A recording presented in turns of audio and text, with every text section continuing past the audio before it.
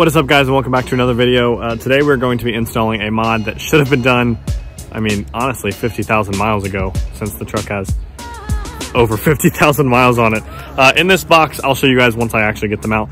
In this box are uh, the rear shocks, as you can see from the title of this video. They're gonna be installed on this truck uh, any minute now, so let's get right into it.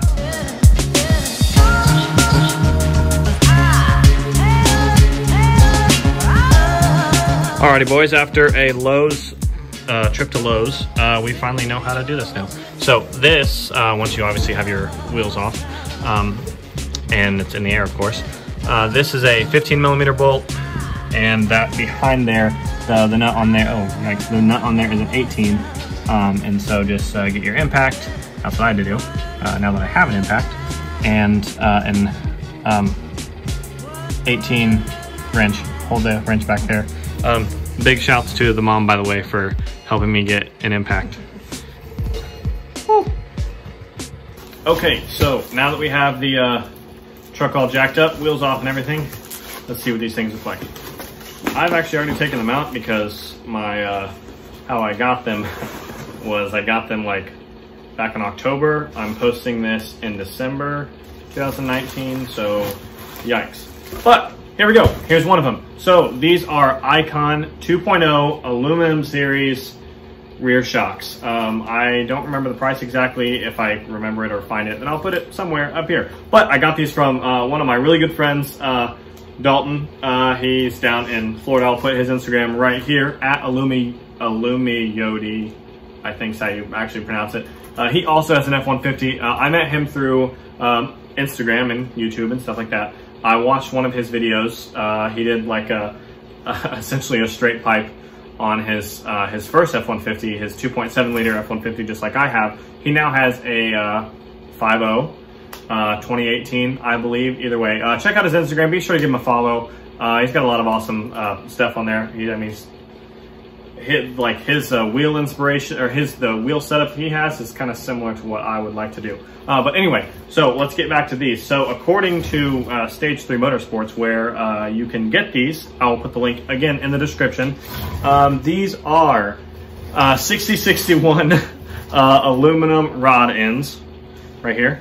And these will handle up to two inches of rear lift. So if you are uh, adding up to two inches of lift on your F-150, these are the shocks that I'm gonna recommend. If anyone has a truck and you don't know what Icon is, um, then after you're done with this video, uh, go and check out Icon because they make, I mean, some of the best, uh, some of the, the best uh, suspension setups um, for, I mean, a lot. Of, they're a really reputable brand, so be sure to look them up, of course.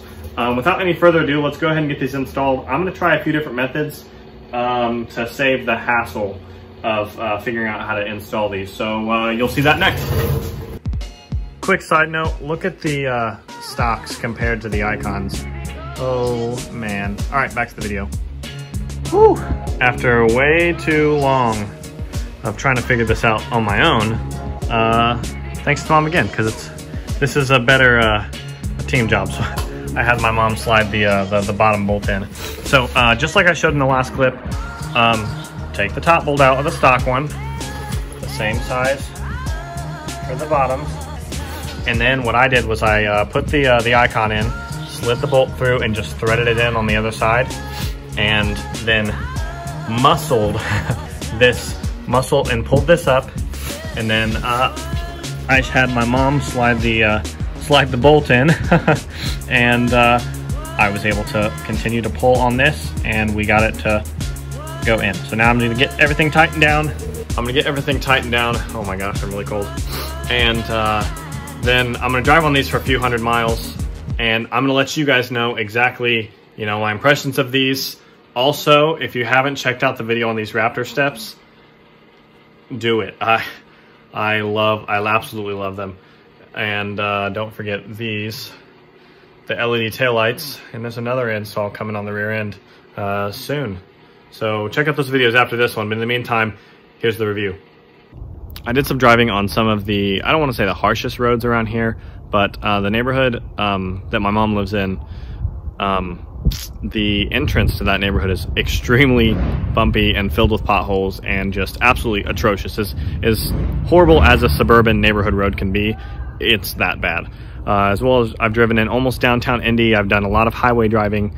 Um, and these shocks, they are single-handedly one of the best um, modifications I've done to the truck. Um, I don't really, I can't, I don't know the performance mods, I guess you could say, just because these shocks, they've improved exponentially. Like the, uh, when I was talking to Dalton, uh, he previously told me uh, over, over mess, over like Instagram, uh, Instagram DMs that um, he said that the feel, and I wrote, I actually have ridden in his truck when I was down in Florida, um, and I didn't really notice it, but that's also because I hadn't been in a vehicle for like a week. So, uh, but he was telling me that it installing these shocks really takes out that like tail end sway that you get when you're going over bumps. Uh, if you've had your your truck for a while now, you I'm sure you can notice the stock shocks when you're going over bumps or on the highway or whatever. You feel the the tail end kind of not fishtail per se, but uh, the back end definitely sways and moves a lot on the highway, so much more than I could ever noticed, And just over little bumps, in a neighborhood like this, um, it really moves quite a bit. And installing these shocks definitely improved that tenfold. I mean, these are, uh, I've got uh, so much so that I'm actually going to be doing some other shocks here soon, uh, if that gives you guys any hints. But, um, but I, um, I think that does wrap up today's video, guys. Uh, you can see the shocks right there. Uh, they were super easy to install. Um, uh, ultimately all said and done uh, you're looking at honestly if you have the right tools and everything about a 45 minute install maybe less maybe a little bit more. Um, it took me two hours for this side and 10 minutes for the other side. It's because i wasn't prepared didn't have the right tools available at the time. Either way uh, it's fixed now um, but anyway guys like i said this is the end it, this is the end of the video uh, so be sure to check out my instagram for any other updates on these shocks and i'll let you know um, how everything is going with that the wind is definitely worse on this side, but I'm switching to the other side of the truck because my neighbors are home, so I don't want them to watch me. Uh, be sure to give it a like uh, if you like, if you enjoyed the video. Give it a dislike if you did not. Be, um, and also check out my uh, Instagram and let me know um, if you guys are going to purchase these shocks. And um, I can see my face turning pink, so I'm going to go ahead and go inside. Uh, you guys take care and have a great day.